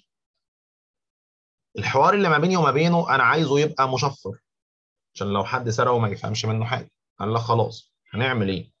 الكلام اللي أنا عايز أبعته له ايا كان ال data أهي. أو ال information سي هقول له hello بس أنا مش عايز حد يعرف نعمل إيه؟ قبل ما نبعتها نعمل لها encryption نشفرها. طبعا عملية ال encryption ديت بتتم بالاتفاق مع الطرف الثاني طيب ال encryption ده بيطلع لي data مشفرة. يعني هيطلع من الناحية الثانية هنا encrypted data طب لو حد سرقها مش هيفهم منها حاجة. مين الوحيد اللي يقدر يفهمها؟ الطرف اللي أنا اتفقت معاه على طريقة التشفير. يعمل إيه بقى؟ بتجيله ال data. encrypted مع encrypted data بيعمل لها العملية العكسية. العملية العكسية هي إيه؟ بيعمل حاجة اسمها decryption decryption يعني فك التشفير. العملية العكسية للتشفير. يطلع إيه بقى من الناحية الثانية بعد ال decryption؟ يطلع من الناحية الثانية ال data العادية بتاعتي اللي هي مكتوب فيها إيه مثلا؟ hello. هتطلع من الناحية الثانية hello. واصلة الفكرة؟ يبقى أنا قبل ما أبعت ال data أشفرها بالاتفاق مع الطرف الثاني وهو يعمل لها decryption فك تشفير. يبقى أهو ده معنى كلمة encryption و decryption عندنا علم اسمه علم ال cryptography ده العلم اللي بنخترع فيه طرق لتشفير ال data. خد بالك أنا وأنا بعمل encryption هناك طرق مختلفة لتشفير ال data. وفي طرق ضعيفة وفي طرق قوية. طب الطرق الضعيفة ديت ممكن يترتب عليها إيه؟ أقول لك إن حد هاكر في النص. هاكر في النص. يسرق نسخة من ال data. المفترض إن هي مالها مشفرة. صح كده؟ يعمل إيه هو بقى؟ يحاول يكسر التشفير بتاعها. يعمل حاجة كده مشهورة جدا جدا بيسموها ال cryptanalysis. ال cryptanalysis إن حد ياخد حاجة مشفرة ويقعد يحللها عشان يكسر التشفير بتاعها ويعرف أصلها. عشان كده في علم اسمه إيه؟ اسمه علم ال cryptanalysis. ده علم. العلم ده بالعربي معناه إيه؟ يعني علم كسر التشفير. بص بص كده. كسر مش فك ها؟ في فرق ما بين كسر التشفير وفي فرق ما بين ال decryption ده يعني فك التشفير. أنا لما بتفق بتفق مع حد على طريقة معينة أشفر بيها ال data هو بيبقى عارفها. وبالتالي بيبقى بسهولة جدا يفك تشفير ال data. لأن أنا متفق معاه على الطريقة اللي هنشفر بيها ال data. لكن كسر التشفير إن أنا أفك تشفير ال data اللي أنا سرقتها وأنا مش عارف أصلا الطريقة اللي اتشفرت بيها. طب ده ممكن يحصل إن حد يسرق data مشفرة ويكسر تشفيرها آه يحصل لو كانت الطريقة المشفر بيها ال data طريقة ضعيفة. وهنقول إحنا لسه على الطرق المختلفة وإيه الضعيف وإيه القوي. طيب فإذا encryption يعني إيه؟ يعني تشفير. decryption يعني إيه؟ يعني فك التشفير اللي بيعمله الطرف الثاني طب cryptanalysis يعني إيه؟ يعني كسر التشفير غير فك التشفير. تمام؟ ويظهر معانا بقى كده مصطلح جديد اسمه ال cryptology. إيه ال cryptology؟ بص ال cryptography هو علم التشفير. طب ال cryptanalysis هو علم كسر التشفير. طب ال cryptology هو العلم الذي يجمع ما بين ال cryptography وال cryptanalysis. cryptography وال cryptanalysis. وتلاقي دايما دايما الناس اللي شغالة العلماء اللي بيخ... اللي بيخترعوا بيبقوا عادة علماء رياضيات اللي بيخترعوا طرق للتشفير هم نفسهم هم نفسهم بيحاولوا يكسروا هذه الطرق. يعني تلاقي إيه؟ تلاقي كده نفس الشخص هو هو يعتبر شغال في ال cryptography وال cryptanalysis ولو هو شغال في الاثنين يقول لك آه يبقى أنت كده شغال في مجال ال cryptology يبقى ال cryptology هو العلم الذي يجمع ما بين ال cryptography وال cryptanalysis وهنا بقى في شوية مصطلحات مهم جدا نعرفها يعني إيه plain text أو clear text ده مصطلح بيتقال على ال data قبل تشفيرها. كلمة plain text يعني أو clear text يعني نص واضح وصريح. أنت باعت لواحد بتقول له hello فدي كده تتسمى إيه؟ دي كده plain text أو سميها clear text يعني إيه؟ نص واضح غير مشفر. طيب ال ال بعد تشفير ال data اللي أنا عايز أبعتها بيسموها cipher cipher text أو ممكن تسميها encrypted text يعني نص مشفر يسموه cipher أو encrypted المصطلحات دي مهمة جدا. أو cipher text أو encrypted text. طب يعني إيه encryption algorithm بص أنت بتدخل ال data بتاعتك اللي هي الواضحة الصريحة الغير مشفرة. بتدخلها على حاجة بيسموها encryption algorithm ده بيبقى إيه؟ معادلة رياضية معادلة لتشفير ال data. بيسموها encryption algorithm وهناك العديد من ال encryption algorithms في أنواع هنشوفها واحدة واحدة. يبقى إيه معنى encryption algorithm دي المعادلة الرياضية اللي هنستخدمها لتشفير ال data. بس خد بالك من حاجة بقى. لابد إن هذه المعادلة يدخل عليها حاجة كده مشهورة جدا بيسموها encryption key إيه ال encryption key عبارة عن كلمة سر كلمة سر بتدخل على المعادلة مع ال data. يعني إيه؟ معادلة التشفير بيدخل عليها حاجتين. ال data اللي أنت عايز تشفرها ايا كان محتواها إيه؟ وحاجه اسمها encryption key ده آه زي كلمة سر. مثلا يعني مثلا MMH أو RST مثلا يعني. تمام؟ دي كلمة السر. مين الوحيد اللي بيبقى عارف كلمة السر أو ال key اللي تم إدخاله على المعادلة اللي شفرنا بيها ال data؟ الوحيد اللي بيبقى عارفه الطرف الثاني يعني لو انت بتتكلم مع فيس هيبقى الوحيد اللي عارف كلمة السر ديت هو موقع فيس. ليه؟ لأن كلمة السر ديت لازم تستخدم أثناء فك التشفير. إيه اللي بيحصل بقى في فك التشفير؟ بيبقى عندي encrypted data أو cipher زي ما اتفقنا cipher text تخش على decryption algorithm يعني معادلة فك التشفير.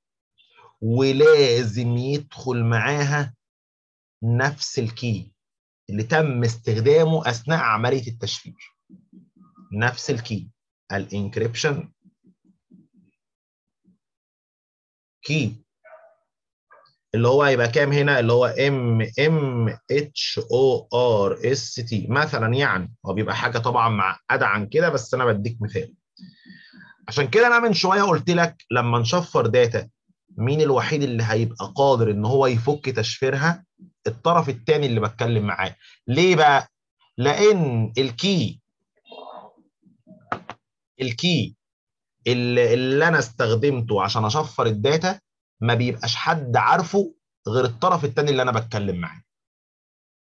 طيب طب ساعتها لو في هاكر سرق ال data بس ما يعرفش إيه؟ أو لا يعلم ال key تعرف إن الهاكر ممكن يبقى عارف المعادلة اللي تشفر بيها ال data شكلها عامل إزاي لكن لا يعلم ال key. وبالتالي لو الهاكر سرق ال key لا sorry لو الهاكر سرق ال data مش هيعرف يفك تشفيرها. إلا إذا إلا إذا إيه بقى حضرتك؟ إلا إذا كان ال key ده حاجة سهلة مش معقدة. حاجة سهلة مش. يعني تخيل مثلا ال key 1 2 3 عارف الهاكر ساعتها اللي بيعمل إيه بقى؟ اللي بيعمل cryptanalysis. بيعمل إيه؟ بيقعد يجرب في ملايين ال keys. يعني يعمل إيه؟ هو عنده ال data مشفرة. تمام؟ أهي اللي هي cipher. وهو عارف المعادلة اللي بتشفر أو بتفك التشفير. عادة ما بتبقاش حاجة سر يعني. المعادلة نفسها مش سر. فهو عارف المعادلة. إيه بقى اللي بيبقى سر؟ والهاكر ما بيبقاش عارفه ال key. وهو ده بيبقى التحدي إن الهاكر اللي هيعمل إيه؟ اللي هيعمل cryptanalysis يقدر يعرف ال key. فكلما كان ال key معقد كل ما عملية كسر التشفير هتبقى صعبة جدا. طب لو ال key سهل وحجمه صغير زي مثلا key 1 2 3 ده سهل جدا. أصل الهاكر ممكن يقعد يعمل إيه؟ يقعد يجرب في آلاف ال keys. مثلا يجرب 1 2 3 من 1 ل 5 من 1 ل 6 مش عارف يقعد يجرب كده آلاف أو ملايين الاحتمالات لحد ما يظبط معاه key صح ويتم فك تشفير ال data. واصلة الفكرة؟ بص من الآخر الشخص اللي هيسرق ال data وهيفك تشفيرها بيحتاج يكون عارف المعادلة اللي تم استخدامها في التشفير والمعادلة اللي هيتم استخدامها في فك التشفير وعارف كمان ال key اللي تم إدخاله أثناء عملية التشفير. تمام؟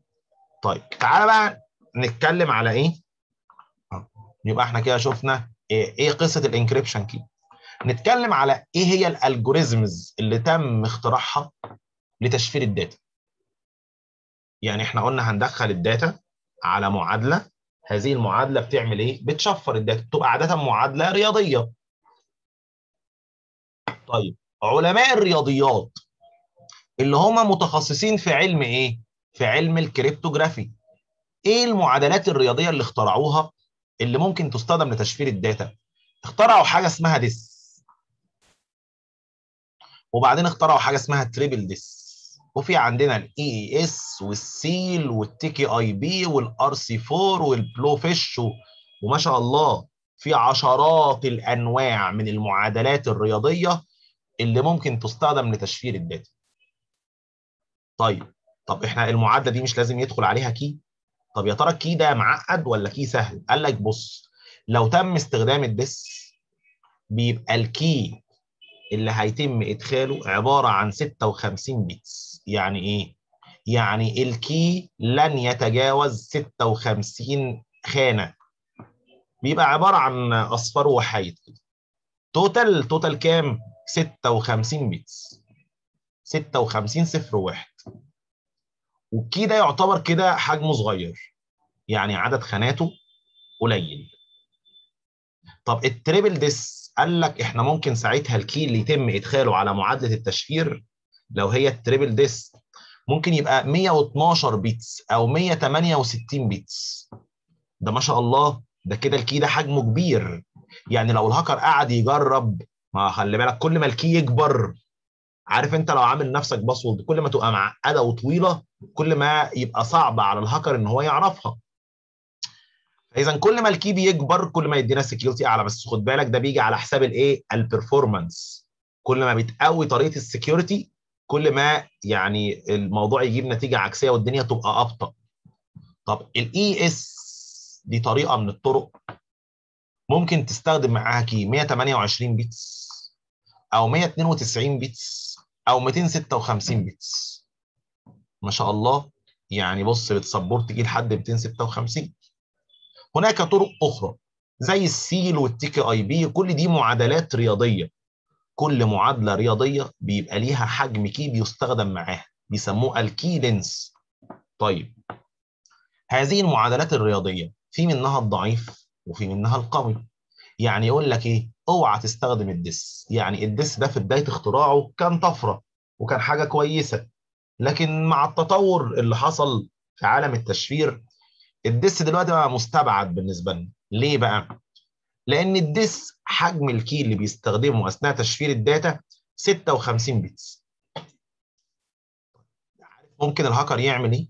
يقعد يجرب اللي هو بقى بيعمل cryptanalysis يقعد يجرب جميع الاحتمالات مش هو 56 يجرب من 56 صفر. هو بيبقى أصفار ووحايد بس ها؟ لحد 56 واحد. يجرب يجرب يجرب لحد ما تظبط معاه ويعرف ال key الصحيح إيه. لأن هنا حجم ال key مش كبير هو total 56 تعرف إن في بداية اختراع ال DES الناس بقى المتخصصة في في ال cryptanalysis بقى. اخترعوا إيه؟ اخترعوا آلة آلة اسمها ال COPACABANA. ال COPACABANA. هذه الآلة بتقدر تجرب جميع احتمالات ال key بس بتستغرق مدة قد إيه؟ لأن هي كانت بطيئة شوية. بتستغرق آه ستة وأربعة من عشرة يوم. ست قول سبعة أيام. سبعة أيام تكسر لك. يعني لو أنت كهاكر قدرت تسرق حاجة مشفرة بإيه؟ بالدس. ومش عارف الكي. تقعد تجرب لك إيه تاخد ست أيام ونص. آه خد بالك دلوقتي مع التطور اللي حصل في أجهزة الكمبيوتر الموضوع ممكن ياخد وقت أقل من كده بكتير جدا جدا. ده الآلة دي كانت بطيئة. طيب في أجهزة تقعد تجرب ملايين ومليارات الاحتمالات في الثانية الواحدة وبالتالي تاخد وقت أقل من كده بكتير. طب ال Triple DES ال Triple DES ما شاء الله ال key بتاعه حجمه كبير. وبالتالي انت محتاج لو هتستخدم جهاز كمبيوتر عادي عشان تقعد تجرب جميع احتمالات يعني لو ال key مثلا 168 bits. عشان تقعد تجرب من 168 صفر ل 168 واحد يقعد يجرب لك يجرب لك جميع الاحتمالات. عارف محتاج قد إيه؟ محتاج 4.6 من 10 billion years يا نهار أبيض! يعني إيه؟ عمر لا نهائي يعني. تمام؟ وبالتالي حضرتك لو استخدمت ال Triple DES واستخدمت key من دول سواء 112 أو 168 مش تبقى قلقان. لا ال Triple DES من الحاجات القوية. طب ال AES ده ما شاء الله ممكن يدعم key يوصل ل 256 bits. يقول لك ده انت كده محتاج محتاج 100 بص محتاج 149 trillion years عشان تعرف تكسر هذا ال key وتجيب جميع احتمالاته. على فكرة من وسط أنت طبعا مش مطلوب منك تعرف شكل المعادلة الرياضية بتاعت كل واحد دول عاملة إزاي. عارف؟ أنت ممكن تقعد. أنا مرة قعدت 3 4 ساعات نشرح كان كان حد يعني بيعمل زي دراسات في التشفير وكده فكان محتاج يفهم الدس بيشتغل إزاي. قعدت معاه بتاع 3 4 ساعات عشان نشرح بس الدس شكل المعادلة الرياضية بتاعته عاملة إزاي.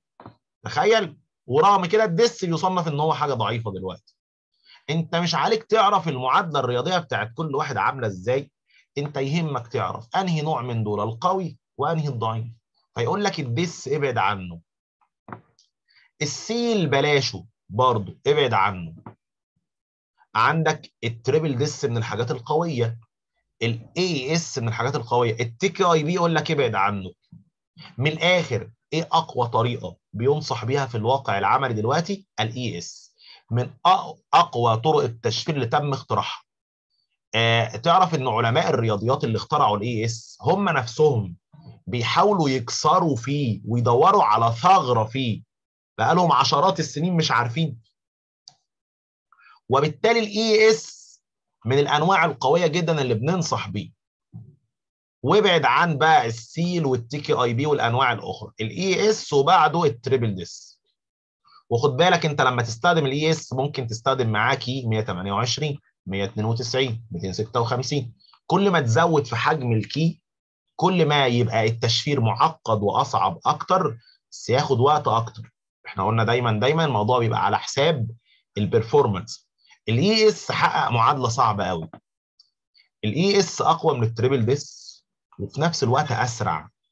دايما دايما لما بنخترع حاجات أقوى تلاقي فيها مشكلة إن هي أبطأ. لا ده ال AES مثلا أقوى من ال Triple DES في ال security وفي نفس الوقت أسرع كمان. يا دي تبقى حاجة بقى إيه حاجة ممتازة جدا لما نخترع حاجة أقوى وأسرع. يعني الطبيعي بيبقى أقوى وأبطأ. واخدين بالكم الحتة ديت؟ مهمة جدا جدا. اذا فهذه ال encryption algorithms إيه الانواع القويه والمحترمه؟ ال AES ابعد عن الانواع الثانية يعني لو صادف يعني مثلا أنا مره كنت بعمل اعدادات لجهاز في الشبكات اسمه access point فانا بعمل اعدادات لقيته بيسألني. بيقول لي هو انت عايز تستخدم في ال encryption ال AES ولا ال TKIP دول الطريقتين المتاحين في اللي بيدعمهم هذا الجهاز. وانت مغمض عينيك تستخدم إيه؟ ها ال AES ابعد تماما عن ال TKIP. ابعد عن ال SEAL ابعد عن ال DES. ال AES ممتاز جدا. هو أقواهم Triple DES برضه من الحاجات القوية لكن ال AES أسرع وأقوى منه اتمنى تبقى الدنيا واضحة. آه لسه هنتكلم على آه ال encryption فكرته إيه؟ يعني هو أنا دلوقتي لما بدخل ال data على معادلة المعادلة دي بتعمل إيه يعني في ال data؟ إيه هي الأفكار الرئيسية لل encryption؟ هنقولها. آه طب الناس اللي شغالة في ال cryptanalysis إزاي بيقدروا يكسروا التشفير؟ إيه الطرق المختلفة اللي ممكن تستخدم لكسر التشفير؟ غير إن هو يقعد يجرب جميع احتمالات ال key هل في طرق ثانية هنتكلم على حاجة اسمها ال cryptanalysis method وبعد كده ننتقل بقى لحاجة اسمها ال symmetric حاجة اسمها symmetric encryption ونعرف إن اللي إحنا درسناه من شوية ده بيسموه symmetric encryption وهنعرف إن في نوع آخر بيسموه asymmetric وهناك أنواع أخرى من ال encryption هنعمل مقارنة ما بينهم ونشوف الفرق إيه من الحاجات اللي بتسال عليها كتير في ال interviews يعني بص هنا symmetric encryption ال symmetric encryption عارفين لو رحنا على أسئلة ال interviews اللي تعرضنا ليها من شوية هتلاقيه بيسألك يقول لك إيه؟ What is difference between symmetric and asymmetric encryption هتلاقي برضه هنا من ضمن الحاجات اللي بيسألك عليها برضه هتلاقيه لو دورت كده وسط الأسئلة. هتلاقي يعني إيه؟ حاجات بتتسأل على ال asymmetric وال symmetric encryption إن شاء الله نبدأ بيهم. يعني نبدأ كده بصوا عشان تبقوا عارفين برضه النظام. إحنا كده النهارده خدنا من أول هنا. لحد. هنا copy. زي ما اتفقنا في أجندة لكل محاضرة أنتوا group 12 سيشن 2 تاريخ النهارده كام؟ المفروض النهارده بقى إيه؟ دي تاريخ 16 النهارده 17 صح كده؟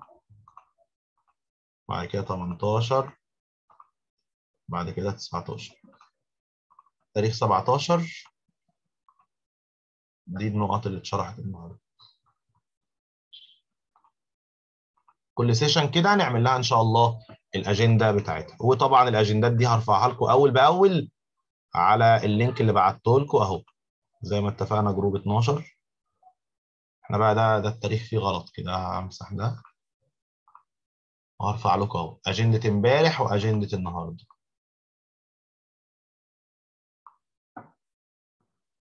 حد كده عنده أي سؤال؟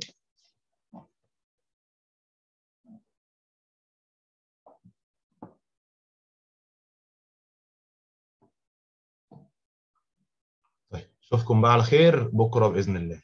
السلام عليكم.